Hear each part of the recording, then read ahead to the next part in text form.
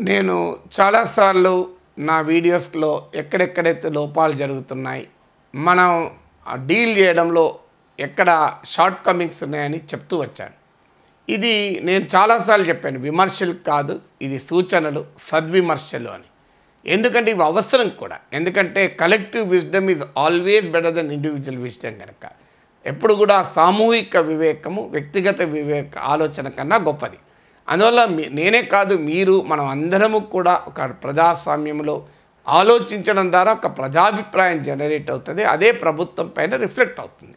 అందువల్ల మనం అడుగుతూ ఉన్నాం షార్ట్ కమింగ్స్ని ఎత్తి చూపుతున్నాం ఇప్పుడు వలస కూలీల విషయంలో టెస్టింగ్ విషయంలో రకరకాల అంశాల్లో ప్రొటెక్టివ్ ఎక్విప్మెంట్ అందుబాటు విషయంలో ఇలాంటివి చెప్తూ వస్తున్నాం మెడికల్ సప్లైస్ అందుబాటు ఇవన్నీ ఎప్పటికప్పుడు షార్ట్ కమింగ్స్ కూడా మనం చెప్తూ వస్తున్నాం. అయితే అదే సమయంలో it is something like glass half full and half empty మనం దాన్ని రెండు రకాలుగా చూడొచ్చు. హాఫ్ ఫుల్గా చూడొచ్చు హాఫ్ ఎంటీగా చూడొచ్చు. ప్రభుత్వాలు ప్రభుత్వాన్ని సమర్థించే వారు ఏమంటున్నారంటే మీరు ఆల్వేస్ హాఫ్ ఫుల్గానే చూడండి అని.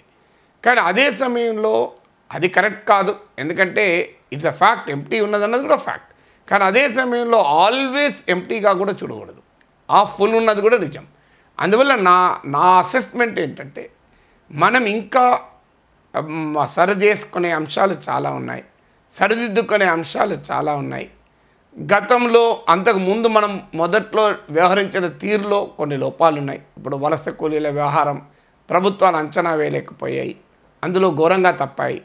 లేదు ఫారిన్ ట్రావెల్ను ముందుగానే రెస్ట్రిక్ట్ చేస్తే బాగుండేది అనే అభిప్రాయం ఉంది.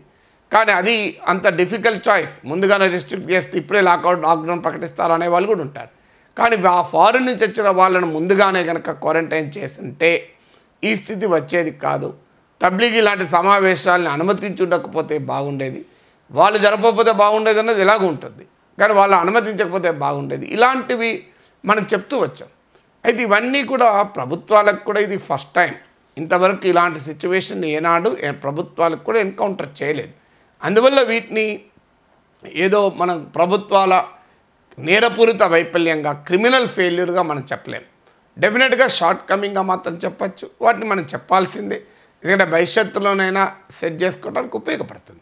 కానీ అదే సమయంలో ఇంప్రూవ్ అవుతున్న అంశాలు కూడా ఉన్నాయి. మనం అది కూడా కాదనలేం. ఒకటి మీకు టెస్టింగ్ చాలా కీలకం. ఇప్పటికీ చాలినన్ని టెస్టులు జరగడం లేదు అనేది నిజం.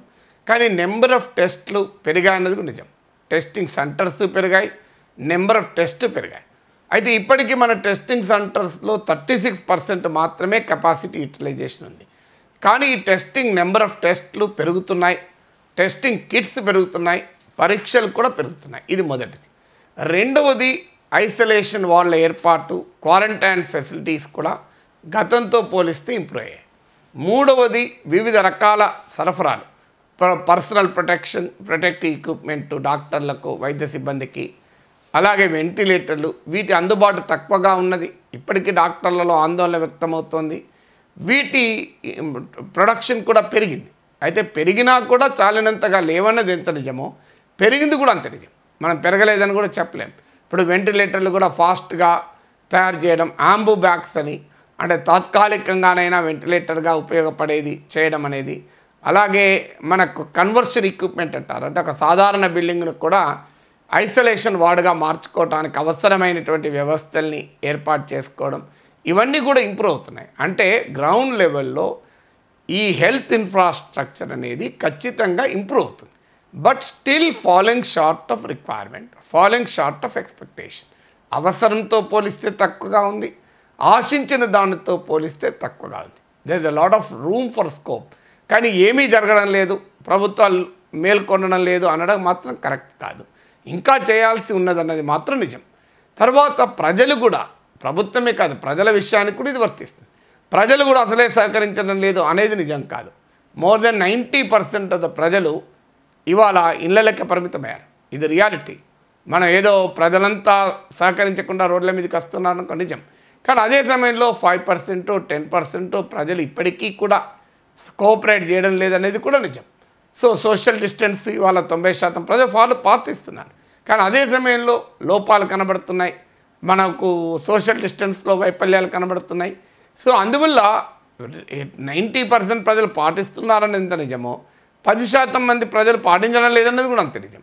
కానీ మనం పది శాతాన్ని చూసి వాళ్ళని కూడా సరి చేసుకోవాలి వాళ్ళకు కూడా ఎన్ఫోర్స్ చేయాలి. అదే సమయంలో నైంటీ పర్సెంట్ ఫాలో అవుతున్న వాస్తవాన్ని కూడా మనం కొట్టిపారేయలేం. అందువల్ల నిరాశ చెందటానికి సమయం కాదు. నిరాశ చెందితే ఇంకా మానసిక ఒత్తిడి పెరుగుతుంది. So things are certainly improving. అలాగే వ్యాక్సిన్ డెవలప్మెంట్ విషయంలో క్యూర్ విషయంలో కూడా చాలా ఇంప్రూవ్మెంట్ అయింది. ఎందుకంటే వ్యాక్సిన్ క్యాండిడేట్ వ్యాక్సిన్ క్యాండిడేట్స్ అంటారు. అంటే వ్యాక్సిన్ డెవలప్మెంట్లో తొలి దశ. చాలా కంపెనీలు వరల్డ్ వైడ్గా ప్రయత్నాలు చేస్తున్నాయి. మన దగ్గర భారత్ బయోటెక్ కానీ ఇలాంటి సంస్థలకు కూడా ఈ ప్రయత్నంలో ముందున్నాయి. అందువల్ల ప్రపంచం కూడా వ్యాక్సిన్ డిస్కవరీ దిశగా చాలా వేగంగా అడుగులేస్తోంది. అయితే ఇంకా దూరంగా ఉన్నాయి. బిల్ గేట్స్ అన్నాడు ఇంకా ఎయిటీన్ మంత్స్ అయినా పడుతుందని. చాలామంది నిపుణులు చెప్తున్నారు వన్ ఇయర్ అయినా పడుతుందని. కానీ బట్ అదే రియాలిటీ ఏంటంటే ప్రయత్నం అయితే చాలా వేగంగా జరుగుతుంది. అలాగే క్యూర్ విషయంలో కూడా ప్రయత్నం జరుగుతోంది. ఇప్పటికే కొన్ని రకాల డ్రగ్స్ను ప్రయత్నాలు చేస్తున్నారు. కన్ఫర్మ్ చేయకపోయినా కూడా వాటిని ఎక్స్పెరిమెంటల్గా ప్రయత్నాలు చేస్తున్నారు. సో ఇలా వివిధ రూపాల్లో ఒక దీనికి వ్యాక్సిన్ విషయంలో డ్రగ్ విషయంలో జాగ్రత్తల విషయంలో డెఫినెట్గా ప్రయత్నం అలాగే ప్రజలు శానిటైజ్ చేసుకోవడం. మున్నెన్నడూ లేని రీతిలో ప్రజల్లో ఈ అవగాహన కూడా పెరిగింది. శానిటైజ్ వేసుకొని మూఢనమ్మకాలు పెరుగుతున్నాయి పెంచుతున్నారు ఈ ప్రాబ్లమ్స్ కూడా ఉన్నాయి. కానీ బట్ అదే సమయంలో పెద్ద ఎత్తున మీడియా అవగాహన పెంచుతోంది. డాక్టర్లు ముందుకొచ్చి తమ అవగాహన తమ నాలెడ్జ్ను పంచుకుంటున్నారు. ప్రజలు కూడా చాలా మేరకు అవగాహన పొందుతున్నారు. అదే సమయంలో వాట్సాప్ లాంటి పిచ్చి పిచ్చి ఫ్యాక్టరీలో ఉత్పత్తి అయ్యే పనికిమాల సందేశాలు కూడా సర్క్యులేట్ అవుతున్నాయి. So there is good and there is bad so డెఫినెట్గా ఒక మంచి వైపుగా సానుకూలత వైపుగా మనం అడుగులు ఇస్తున్నాం పరుగులు తీయాలన్నదే కోరిక. పరుగులు తీయడం లేదన్నదే ఆవేదన. కానీ అడుగులు వేయడం లేదని నిరాశ మాత్రం కరెక్ట్ కాదు.